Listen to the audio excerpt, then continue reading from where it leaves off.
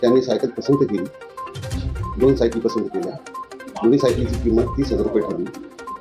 त्याप्रमाणे सायकल खरेदी केल्यानंतर त्यांनी सांगितलं सदरची सायकली सहा जुलैला मनपाड्याला पाठवून द्या. त्यानंतर त्यांनी एक चेक लिहून दिला. सदरचा जो चेक आहे हा त्यांनी यादव नावाच्या इस्माईल असल्याचे चेकवरून नमूद होते. तीस हजाराचा चेक दिला. पहा. या जोडीनं अनेकांना टोप्या घातल्यात. मात्र कल्याण पोलिसांच्या ताब्यात हे बंटी बबली सापडले या जोडीतील महिलेने तर आपण पोलीस निरीक्षक असल्याची बतावणी केली आहे. कोण आहेत हे दोघे? कसं पकडलं त्यांना पोलिसांनी? जाण कल्याण पूर्वेमध्ये चक्की नाका परिसरात भावेश चौधरी यांचं प्रकाश सायकल मार्ट नावाचं दुकान आहे. या ठिकाणी संजय आचरे आणि कविता आचरे हे पती पत्नी सायकल विकत घेण्याच्या बहाण्याने आले. या दोघांनी दुसऱ्या व्यक्तीचा फेक चेक दिला. आपण विष्णुनगर पोलीस ठाण्यामध्ये पोलीस निरीक्षक असल्याचं या महिलेकडून सांगण्यात आलं. माझ्या गाडीमध्ये माझी पर्स राहिली आहे. आणि आता मला थेट पोलीस स्टेशनला जायचंय. त्यामुळे मला दहा हजार रुपये द्या. मी तुम्हाला संध्याकाळी ते परत करते असं सांगण्यात आलं. त्यानंतर पुन्हा या जोडीनं अडीच हजार रुपये गुगल पेच्या माध्यमातून घेतली. त्यानंतर दुकानदाराला आपली फसवणूक झाल्याचं लक्षात आलं. या संदर्भात कोळसेवाडी पोलीस स्टेशनमध्ये तक्रार दाखल करण्यात आली होती.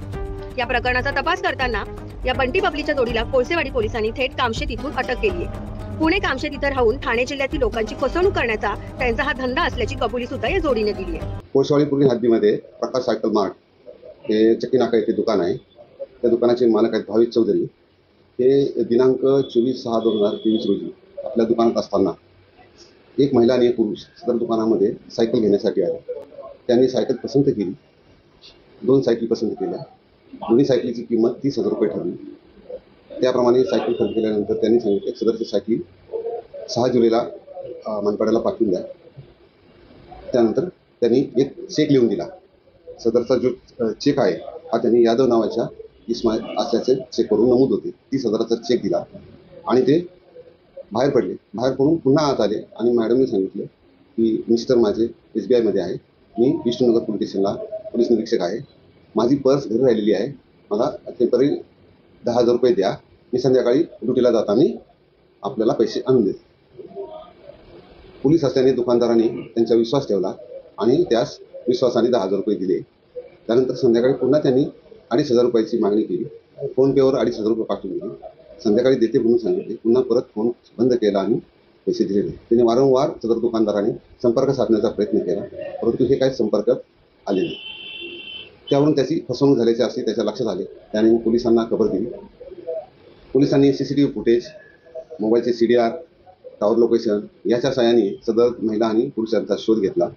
सदरचे महिला आणि पुरुषांना तामसे तिथून काल अटक करण्यात आलेली आहे. अटक केल्यानंतर त्यांचे खरे नाव माहीत झालेले आहे. पुरुष हा संजय आसरे असून त्या महिला ही कविता आसरे आहे. दोघं पती पत्नी आहेत. मूळ ते सातारा येथे राहणारे आहेत. परंतु ते कामसे तेथे भाड्याने रूम घेऊन राहून अशा विविध ठिकाणी लोकांना फसवून याचे गुन्हे करतात आणि गावी जात नाही की जेणेकरून ते सापडू नये. विविध लोकांना फसवून करण्याचा त्यांचा हा मोरस ऑपरेटिंग आहे. अजून काय दाखल तपास काही आहे? अद्याप प्राथमिक तपास आहे पण इतर ठिकाणी असे गुन्हे केल्याची आम्हाला माहिती मिळालेली आहे. त्यांच्याकडे आता पोलीस कस्टडी घेऊन तपास करत आहोत आणि इतर पोलीस ठाकरेंकडून माहिती घेऊन या ठिकाणचे गुन्हे करण्यात यांचे कुठे सी सी फुटेज आहेत का याची खात्री करून त्यांनी अजून काही गुन्हे केले का याचा शोध घेण्याचे काम चालू आहे. अनोळखी व्यक्तींनी जर पैशाची मागणी केली तर सावधान.